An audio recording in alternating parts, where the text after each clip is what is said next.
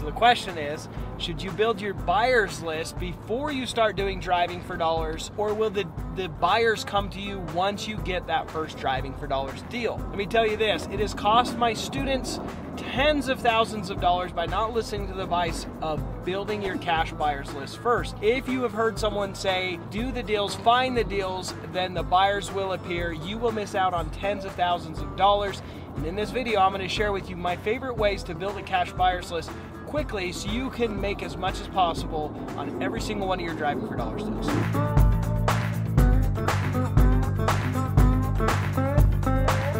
If this is your first time here, welcome. This channel is all about driving for dollars so you guys can make an absolute fortune with your driving for dollars business. Uh, if you guys have any questions, let me know in the comments. But if you have not subscribed before, make sure you do so and hit that bell notification to be reminded when I upload a video. Everyone, my name is Zack Boothe and you know, driving for dollars completely changed my life. It took me from a broke window cleaner to being able to make over a million dollars a year, and even better than that, have a YouTube channel and podcast and be able to help tons of people just like yourself become successful in this business. It's allowed me to pay it forward, and that's what I choose to do with my time. As I said before, if you do not build your buyers list for before you get your deals, it can cost you tens of thousands of dollars. I've seen it over and over and over. I want to know from you guys in the comment section below so other people can see what are the biggest ranges you've gotten from your buyers? For example, one buyer might offer $100,000 on a deal and another buyer will offer $150,000. What are the biggest differences in the numbers from one buyer to the next? What are the biggest ranges you've had? One of the very first action steps when doing Driving for Dollars is building your buyers list. It's what I teach my students. It's what I'm sharing with you guys right now. I've had students that have decided to skip that step because they've heard someone else say, oh, if you find a good deal, the buyers will come. That might, might, might be true, but it might not be the best offer. And if the margins are tight, the numbers are tight, you might not find a buyer. I'm gonna give you an example, of a story. I had a student out of Port St. Lucie, Florida,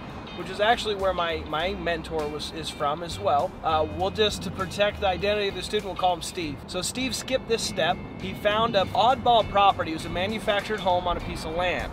The land was included, but it was really hard to figure out what the house was worth. Plus, it was a unique flip, so it took a unique buyer right? Because it wasn't just a normal single family home.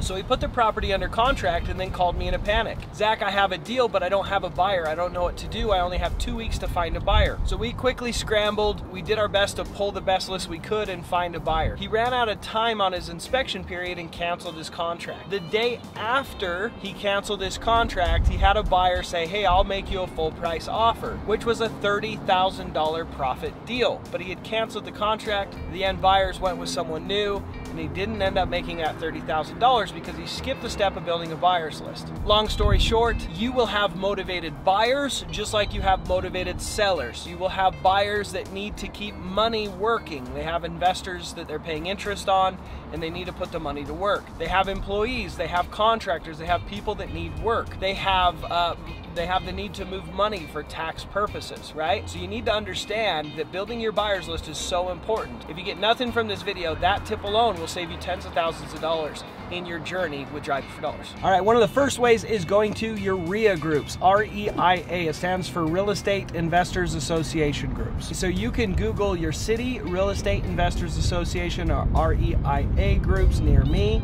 You're gonna be able to find, find some near you. If you're out in rural America, you might have to drive an hour or two to find your, find your REIA groups.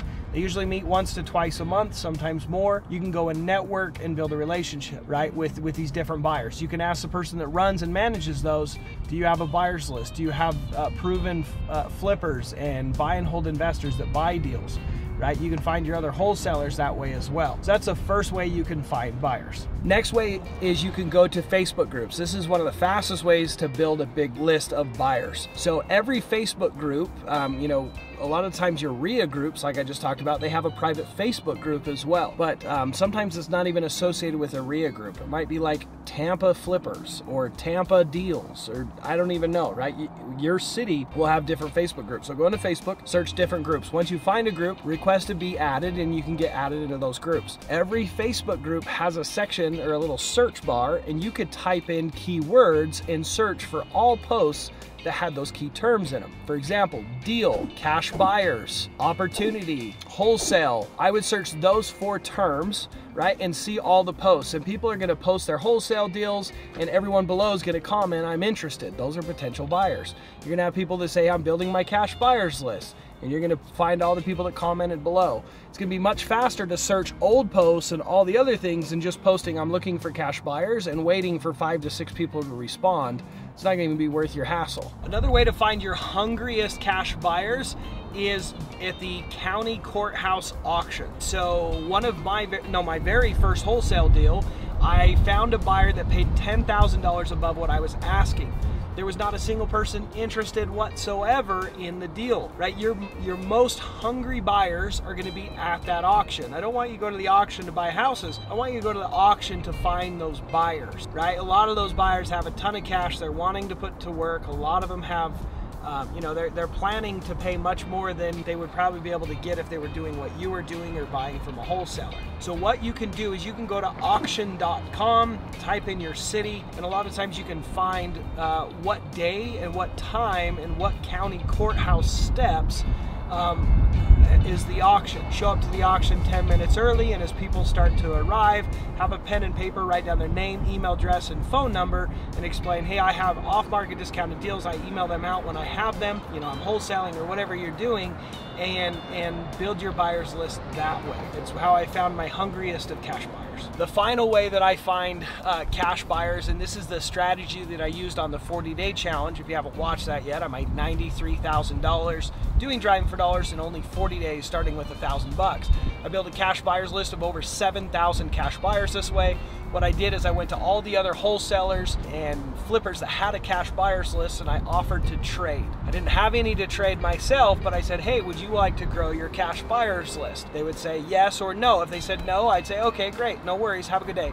I go to the next wholesaler, the next flipper. But I went to every surrounding area within a two hour drive and I said, Do you want to build your cash buyers list? Everyone that said yes, I say, Great, how many do you have right now? They'd tell me the number. And then I'd say, Okay, great, I'll count you in at 2,000. My goal is to double, if not triple, your buyers list.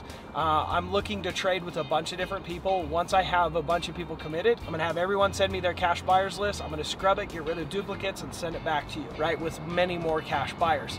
I did that and I went from zero cash buyers to over 7,000 cash buyers for the 40 day challenge. It only took me a handful of hours, right? It's one of my favorite ways to build a very big list very fast. Um, it's what allowed me to move deals um, for the largest amounts of profits possible. You know, on the 40 day challenge, I did three deals. The first one was 10,000, the next one was 30,000, and the last deal was a giant $53,000 deal that wouldn't have been possible without that buyer's list. If you guys have found value here, if you want my assistance to help you build out your driving for dollar system and be able to find deeply discounted properties, I'd love to help you. So it's super simple, right? There's gonna be a link in the show notes book a call with us. We'll talk to you shortly about how it works, how you have full access to me, my cell phone, everything, right? So if you have any interest, you're curious about how the, the coaching works, jump on a call. There's no obligation. Uh, love to talk to you about it. Um, and uh, as I mentioned, the 40 day challenge, if you guys not watch that, uh, if you guys want to see you know what it looks like to do driving for dollars what it looks like to make a massive amount of money in a short amount of time and what exactly it looks like and what you need to do and the kind of action steps you should be taking. I'm going to leave a link somewhere here that you guys can catch the 40 day challenge right? It's completely free.